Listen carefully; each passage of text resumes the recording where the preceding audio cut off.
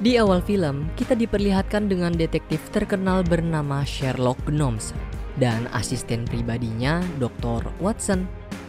Malam ini mereka berdua berhasil menyelamatkan para Gnomes yang diculik oleh Moriarty, musuh bebuyutan Sherlock.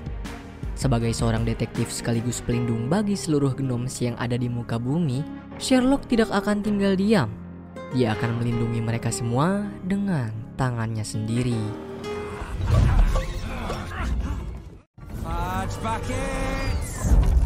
Upaya Sherlock yang berhasil mengalahkan Moriarty membuat para genom sangat bahagia. Namun Sherlock sama sekali tidak menyebut nama Dr. Watson ataupun meminta mereka agar mau berterima kasih juga kepadanya. Dr. Watson pun hanya bisa menghela nafas dalam demi menenangkan dirinya. Beberapa minggu kemudian, kita diajak berkenalan dengan para gnomes yang baru saja pindah ke rumah baru di antara mereka, kita akan berfokus dengan sepasang kekasih bernama Gnomeo dan Juliet. Pemimpin Gnomes kemudian mengumpulkan semua Gnomes untuk memberitahu mereka bahwa kepemimpinan mereka berakhir hari ini. Pemimpin selanjutnya yang ditunjuk adalah Gnomeo dan Juliet. Mereka berdua diharapkan bisa membangun lingkungan yang nyaman, tenang, bahagia, dan penuh cinta di rumah baru saat ini. Di hari pertamanya sebagai pemimpin, Juliet nampak sangat excited. Ia bahkan tidak mendengarkan perkataan Genomeo dan pergi mengerjakan sesuatu yang lain seorang diri. Kenyataan itu membuat Genomeo merasa ada perubahan pada diri Juliet. Dia pun berinisiatif mencarikannya sebuah bunga agar bisa mengembalikan sifat lama Juliet. Kebetulan bunga yang Gnomeo inginkan berada di dalam toko yang dekat dengan rumah baru mereka. Salah satu Gnomes bersedia membantu Gnomeo dengan mempersiapkannya sebuah ponsel serta GPS untuk menuntunnya sampai ke sana. Gnomeo berhasil menyelinap di antara para manusia hingga sampai ke dalam toko. Saat Gnomeo akan mencabut bunga, aksinya bersamaan dengan kedatangan Juliet yang sedang mencari keberadaannya. Juliet tidak sengaja mendapati Gnomeo berada di luar rumah dan tengah berusaha mencuri setangkai bunga. Namun, akibat suara Juliet membuat Gnomeo hilang fokus. Ia pun tidak sengaja menjatuhkan beberapa benda dan membuat alarm berbunyi hingga mendatangkan pihak keamanan ke dalam toko.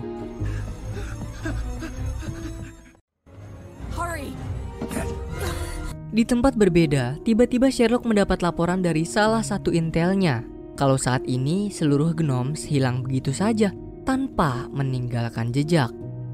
Saat Sherlock mengunjungi TKP, ia tidak menemukan apa pun dan mendapati semua benda masih berada rapi di tempatnya masing-masing. Dr. Watson juga menyadari kalau masih ada banyak Gnomes yang hilang secara misterius.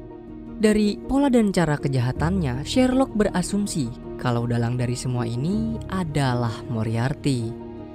Di waktu yang bersamaan, tiba-tiba Genomeo mendapat laporan dari ponsel yang ia bawa kalau saat ini para Gnomes ada dalam masalah. Dengan perasaan panik, Genomeo dan Juliet bergegas pulang dibarengi dengan kemunculan Sherlock bersama Dr. Watson yang juga memiliki firasat buruk mengenai keberadaan mereka di rumah baru. Dr. Watson memberitahu kalau semua kejadian ini adalah ulah kriminal. Genomeo dan Juliet diminta mundur agar tidak ikut campur dalam pencarian mereka. Beruntung Juliet tidak sengaja berhasil menemukan sebuah kartu bergambar huruf M dengan angka 9 di sisinya. Kartu tersebut merupakan petunjuk yang bisa membawa Sherlock menemukan keberadaan Moriarty yang ia duga sebagai pelaku utama. Dari petunjuk pertama, Sherlock berhasil mengetahui kalau angka 9 mengarahkan ia menuju ke kota pecinan. Ia meminta Juliet dan Gnomeo agar tidak mengikuti mereka karena takut justru menghambat pencarian ini. Akan tetapi sebagai pemimpin baru, Juliet tidak mau tinggal diam. Dia terus mengikuti ke mana pun Sherlock dan Dr. Watson pergi, disusul oleh Gnomeo yang juga tidak ingin membiarkan Juliet berada dalam masalah sendirian.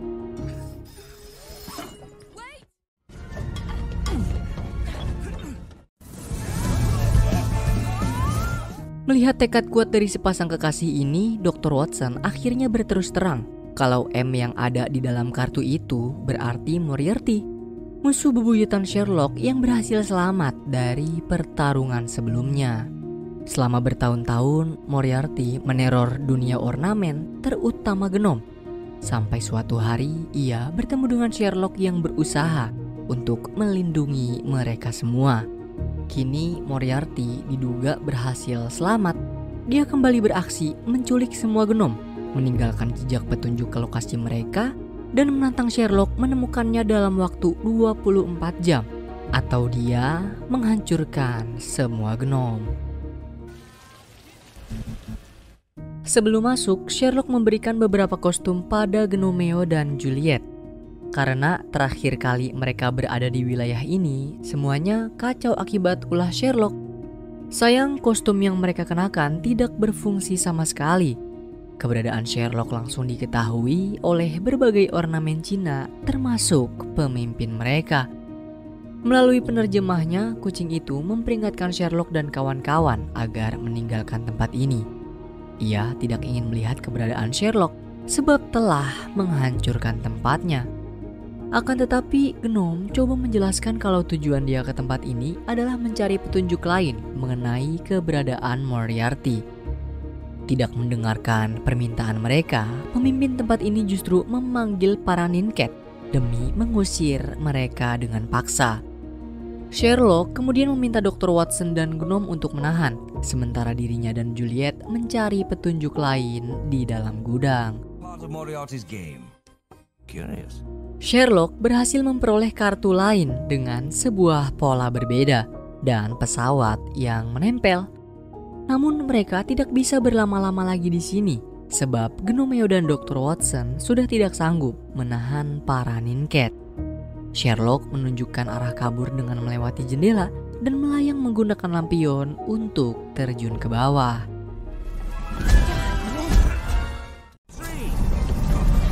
Selanjutnya, Sherlock membawa mereka ke Museum Sejarah Alam, tempat terakhir pertarungan Sherlock melawan Moriarty saat menyelamatkan Gnomes di awal film tadi. Gnomeo yang merasa lelah dengan perjalanan mereka merasa kalau Moriarty berada di dalam museum tersebut. Ia berasumsi kalau Moriarty ingin membalaskan dendamnya di tempat ia dikalahkan oleh Sherlock. Akan tetapi, Sherlock justru berpikir kalau ini semua hanyalah pancingan semata. Dia meminta mereka agar mau menunggu di tempat berbeda yang tidak berada jauh dari museum. Juliet coba menahan Genomeo dan memintanya agar mau mengikuti Sherlock. Tetapi Genomeo tidak ingin membuang waktu terlalu lama dan ia terus melangkah masuk ke dalam museum. Demi memastikan keadaannya, Dr. Watson pun menyusul Genomeo Sementara Sherlock dan Juliet, mereka mendapati seekor ornamen gargoyle menyadari kedatangan Gnome dan Dr. Watson di dalam museum. Hewan tersebut rupanya bertujuan untuk menculik mereka berdua dan membawanya ke suatu tempat. Akan tetapi, Dr. Watson sempat melakukan perlawanan hingga membuatnya terjatuh dari lantai atas. Sherlock dan Juliet kemudian menyadari kalau makhluk tersebut adalah pelaku penculikan. Tidak ada yang bisa mereka perbuat. Juliet hanya bisa pasrah melihat kekasihnya di bawah, sementara Sherlock menyembunyikan kesedihannya atas nasib malang yang menimpa Dr. Watson, asisten kepercayaannya. Meski begitu, Sherlock tetap melanjutkan misinya mencari petunjuk lain demi bisa menyelamatkan para gnomes agar tidak bernasib sama seperti Gnomeo dan Dr. Watson.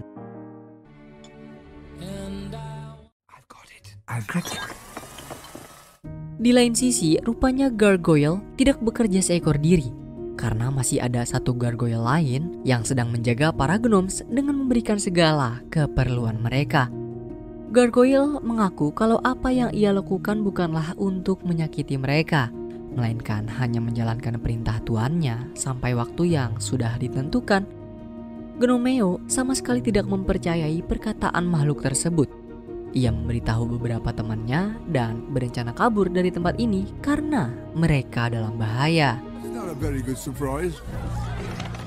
Keesokan hari, Sherlock berhasil memecahkan teka-teki dari kartu yang ia temukan di kota pecinan. Pesawat yang menempel pada kartu tersebut menunjukkan arah mencari petunjuk lain yang berada di bawah pohon dalam taman kota. Sherlock dan Juliet menyaman menggunakan kostum tupai untuk menghindari para manusia. Namun sayangnya petunjuk tersebut menempel pada boneka tulang milik seekor anjing.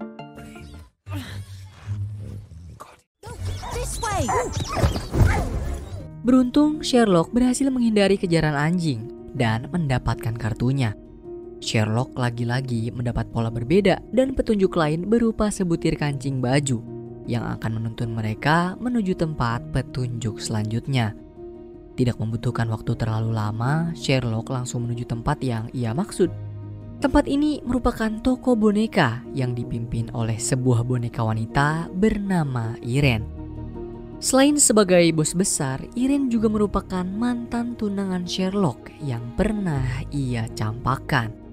Sakit hati yang masih membekas hingga saat ini membuat Irene menaruh dendam kesumat pada Sherlock. Ia tidak akan memberikan petunjuk padanya, bahkan tidak segan mengusirnya keluar dari toko boneka dan memintanya agar tidak lagi menunjukkan batang hidungnya di sini. Tidak tinggal diam, Juliet kembali masuk ke dalam, coba untuk memintanya secara baik-baik kepada Irene. Sesama wanita, Juliet meminta Irene memahami kalau tujuan ia saat ini bukanlah untuk dirinya sendiri, melainkan untuk keselamatan keluarga serta kekasih yang sempat kecewa terhadapnya. Juliet akan melakukan apa pun demi mereka semua dan mempertahankan hubungannya. Nah, perkataan Juliet berhasil meluluhkan Irene. Ia pun dengan sukarela menyerahkan petunjuk selanjutnya kepada Juliet. Kartu yang berhasil Juliet dapatkan merupakan petunjuk terakhir. Di dalamnya terdapat pola berbeda, serta tertulis empat bait puisi yang intinya kalau Sherlock sebenarnya sudah mengetahui pelaku atas penculikan para gnomes. Dari semua pola yang ada, Sherlock akhirnya mengetahui jika para gnomes berada di balik gerbang menara London yang merupakan tempat Dr. Watson dan Sherlock memecahkan kasus mereka bersama-sama saat pertama kali. Di hari yang sama, Gnomeo membuat sebuah acara pementasan untuk mengalihkan perhatian Gargoyle agar ia bisa menyelinap keluar dan menyelamatkan semua gnomes Naas, aksi Gnomes dihentikan oleh gargoyle lain yang datang untuk memindahkan semua Gnomes dari lokasi ini menuju tempat lain. Setibanya di dalam gerbang, Sherlock dan Juliet dikejutkan oleh sosok dari pelaku penculikan. Dia bukanlah Moriarty, melainkan Dr. Watson. Sebelumnya, Dr. Watson meminta maaf kepada Juliet karena telah melibatkan keluarganya dalam rencana ini. Ia mengaku kalau semua ini semata-mata agar Sherlock mau mengakui keberadaannya. Beberapa waktu ke belakang, Dr. Watson merasa tidak pernah diperhatikan oleh Sherlock. Ia selalu menjadi pusat perhatian semua ornamen dan tidak memerdulikan dirinya sebagai sosok yang selalu membantu dalam kondisi apa pun. Dr. Watson tidak meminta banyak. Ia hanya ingin sedikit perhatian agar dirinya bisa dihargai dan mendapat perlakuan baik dari Sherlock. Perkataan Dr. Watson juga akhirnya membuat Julia tersadar akan sikapnya terhadap Gnomeo. Ia sempat mencampakkan Gnomeo, tidak memperdulikan perkataannya dan mengutamakan keegoisannya sendiri. Sebagai makhluk berakal, kita harus belajar untuk menghargai perbedaan dan kesempatan. Menghargai orang lain adalah kunci untuk membangun hubungan yang sehat dan harmonis.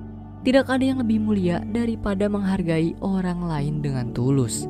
Ketika kita menghargai orang lain, kita juga membangun kepercayaan dan rasa hormat kepada mereka. Namun, saat Dr. Watson akan membebaskan para gnomes, mereka semua telah menghilang dari tempat yang seharusnya. Gargoyle mengaku kalau sebenarnya mereka tidak bekerja untuk Dr. Watson, melainkan untuk Moriarty yang sengaja memanfaatkannya dan mengumpulkan semua gnomes. Serangan Sherlock barusan bertujuan untuk mencari tahu dari mana asal gargoyle. Kapur yang ada di sepatu Sherlock memberikannya petunjuk kalau gargoyle berasal dari menara jembatan. Sherlock juga menyadari jika mereka berada di dalam kapal yang sedang menuju ke sana. Dan buruknya lagi, Moriarty sengaja menjebak Sherlock untuk menghabisi para gnomes yang ada di dalam jembatan menara. Saat kapal melintas, menara jembatan akan mengangkat dan di saat itu juga, sisi menara lain akan menghancurkan para gnomes yang sudah diikat menggunakan permen karet oleh Moriarty. Beruntung, rencana jahat Moriarty berhasil diketahui oleh Gnomeo yang diam-diam mengikuti mereka sampai ke menara jembatan.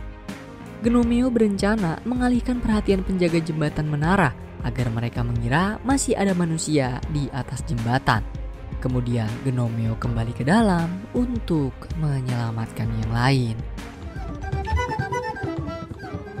Di lain sisi, Sherlock bersama Dr. Watson dan Juliet berhasil keluar dari kotak. Mereka bertiga mengambil sebotol sabun, lalu terbang menggunakan drone milik pekerja kapal. Kedatangan mereka tepat waktu saat Genomio berhadapan dengan Moriarty yang berhasil mengetahui gelagatnya. Kini Juliet dan Gnomeo akan memancing gargoyle. Sherlock menghadapi Moriarty, sementara Dr. Watson pergi membawa sabun demi menyelamatkan para gnomes.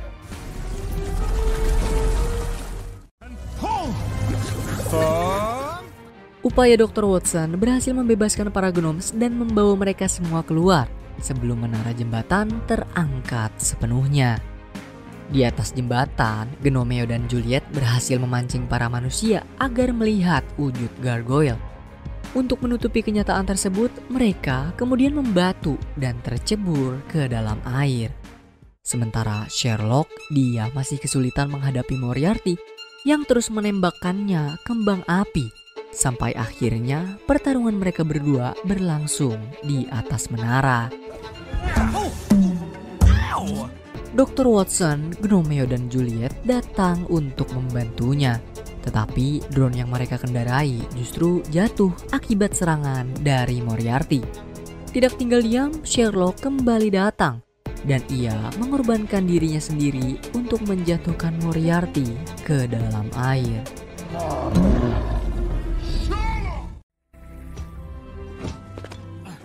Pertarungan mereka meninggalkan luka permanen pada kaki Sherlock.